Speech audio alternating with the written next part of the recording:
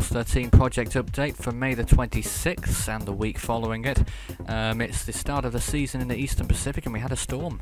Uh, Cyclone Education Week will be running this week, starting later this evening um, on May the 26th through the 30th. And the hurricane seasons in the North Atlantic and Central Pacific begin on June the 1st. Of course, the East Pacific started already, um, and we already had a hurricane, Amanda, of course. So, comments on Amanda. Ivan says, I hope Amanda does become a Category 5. And also, did you get my hypothetical Hurricane Season request 2122?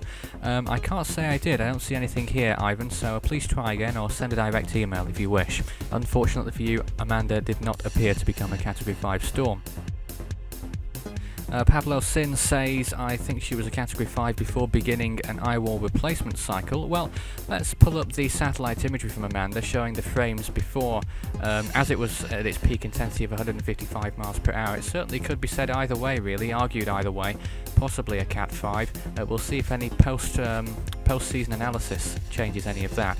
And don't forget that hypothetical hurricane season submissions will be closing on June the 1st, 2014, uh, possibly for the foreseeable future. Um, so please do get your submissions in this week if you'd like to see your yours animated anytime soon. So let's take a look at how we're doing so far this year. 26 tropical storms formed, 11 of those became Category 1 hurricane equivalents, 74 miles per hour or higher, and 6 of those so far have become Category 3 storms with winds of 115 miles per hour on or higher.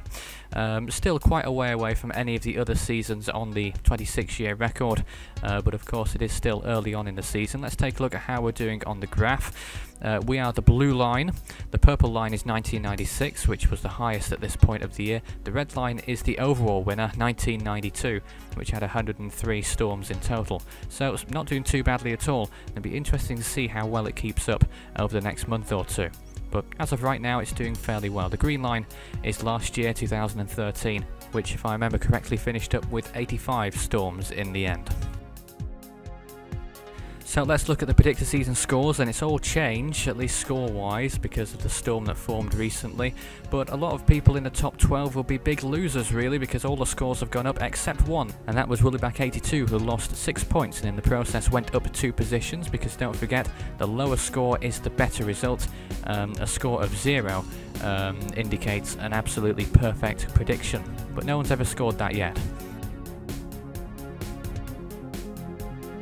So our new predictions this week, uh, Weatherman Sam predicted on May the 23rd, scoring 192, 47th place. Danny the Dinosaur predicted on May the 25th, scoring 122. Weatherboy 1102 and Tristan Lynn also predicted this week, scoring 164 and 162, very close between them two. Um, and looking at the feature predictors, the top two are at the bottom there, the black and the red line, Monsoon and Blake. And our four featured people, um, Woollyback 82 has gone down quite considerably in the grand scheme of things. Paul Nugent goes down slightly as well as myself and F15 as well. Uh, these are the top two how it's been going and Willie Woollyback is starting to come into the picture now in the past few in, a, in the past week um, and all the others are still up there as well the top 12 um, will be interesting to see how things go in the next few weeks you can submit your predictions at force13.com forward slash predict a season underscore 2014 but it's on the description so you can click it straight away you can visit any of Force 13's six outlets. The website is the main place to stay updated on storms like Amanda right now, force13.com. Of course, there's the video platforms, YouTube and Dailymotion, Force 13 on both of those, and the social places, Facebook and Twitter. Just search Force 13 in text to find the relevant pages, and those are updated quite often as well. And you can chat Tropics on Skype, just add Fool13. See you next week.